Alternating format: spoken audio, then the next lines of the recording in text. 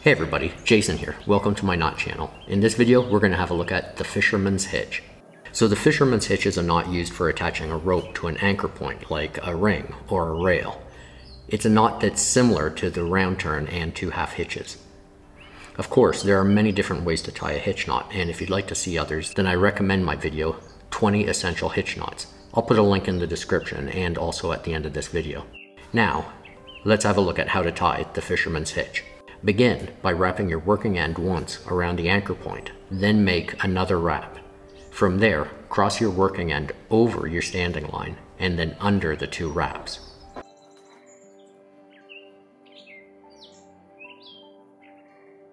Now tie a half hitch to the standing line. And there you have it, the fisherman's hitch. I hope you enjoyed this video. Now here's a link to 20 essential hitch knots. Thanks for watching.